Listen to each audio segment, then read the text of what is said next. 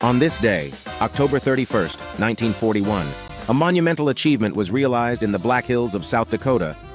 After 14 years of tireless work, the Mount Rushmore National Memorial was completed.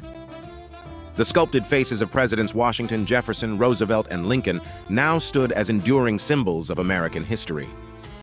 Mount Rushmore, a timeless tribute to the leaders who shaped the nation.